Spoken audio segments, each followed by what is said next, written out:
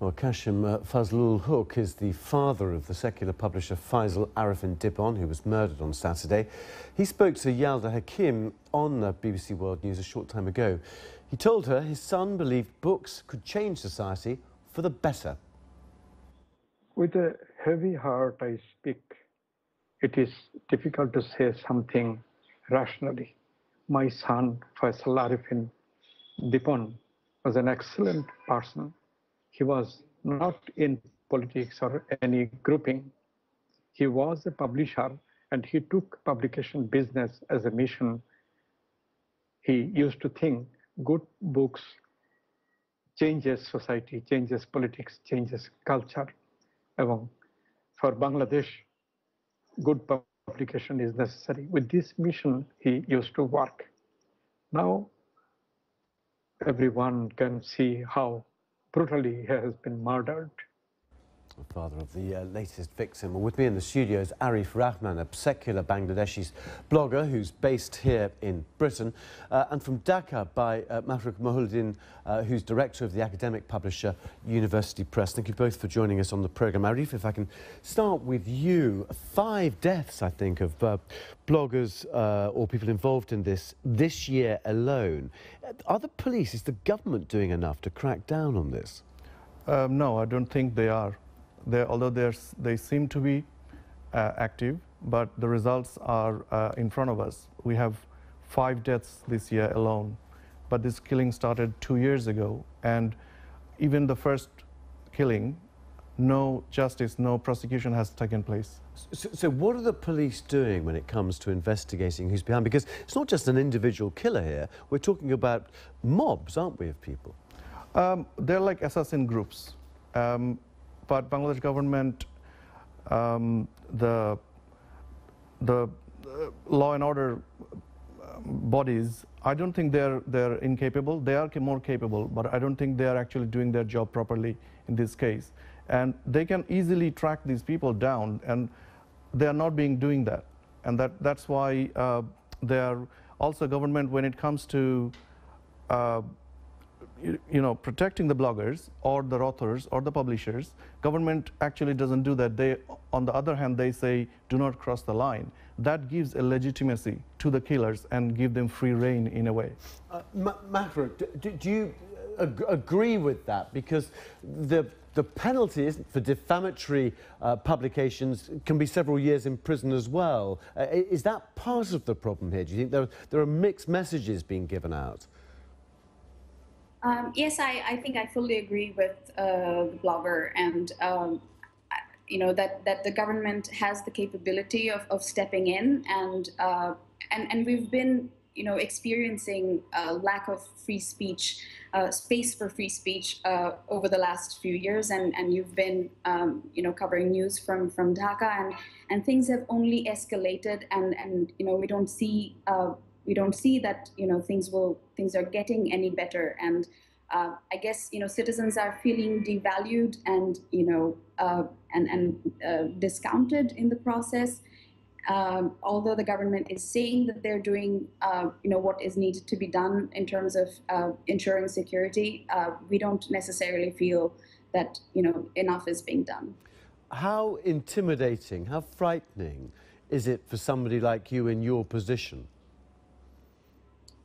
Well, um, of course, this recent incident has uh, hit closer to home, but uh, you know, like I said, that you know, we have been feeling that that free speech, uh, the progressive spaces are reducing. There is there is lack of space for uh, voice of dissent, uh, and it's it's also from you know we see increasing intolerance. Uh, from both sides. So it's not just from the extremists. we, we really feel that uh, even from the government side or, or, the ruling party side, if there was a little bit more uh, space available for people to, you know, have space for critical thinking, uh, for progressive, um, you know, discussions, uh, informed discussions, there would be uh, a way to find out what's the solution, what's the way forward. But uh, we, we, you know, constantly feel that the, that space is reducing, and it's it's really not helping the situation in any way. Uh, Arif, I mean, Bangladesh is nominally a secular country, isn't it? But with a Muslim population of 90%. Yeah. Do you think that the government needs to do more to reinforce that sort of secular foundation to the state? Well, the definition of secularism, in your view, is completely different in Bangladesh. In Bangladesh, Bangladesh government looks at the proportion of uh, religious uh, population and somehow uses that to pamper a specific religion. That is their definition of secularism. Um, it's not that state will not be getting involved with any kind of religious matters. It, it does. It actually subsidizes a lot of religious bodies.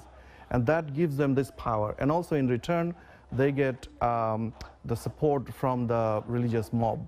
Uh, we have seen multiple times in political activities. So religion and politics is getting into a very, very nasty collusion. Has it changed the way you blog? We, we have been more secure now, as in more, more uh, careful. But what we wanted to say, we continue to say and we will continue to say because there is no going back because they are pushing ahead and with the help of government. And that's all we can do in our uh, capacity is to, is, to, is to fight back using our, our writings and that's all we have left. Uh, uh, will it change the way you do business, the, the, the, the people you take on, the sort of pamphlets, the sort of blogs and things that you decide to publish?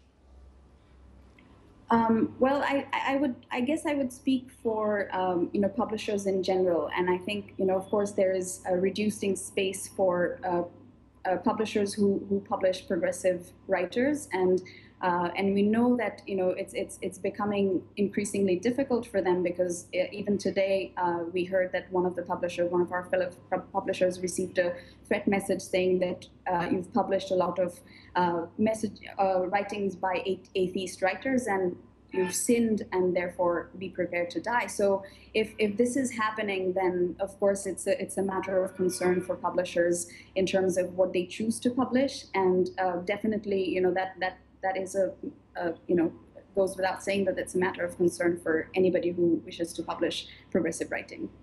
All right, and just a final question from you, uh, Arif.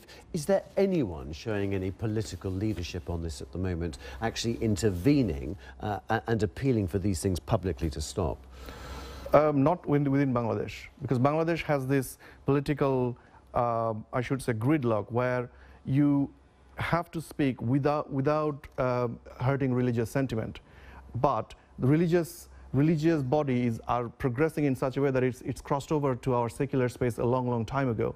And when we fight back, they uh, retaliate using killing us. So uh, that's what's happening at the moment. I mean, there is nobody who, with the right mind in the political correctness, will say anything that can uh, you know, jeopardize that state of mind with right. the politicals. Okay, well, uh, Arif Rahman and uh, uh, thank you both uh, very much indeed for joining us here on uh,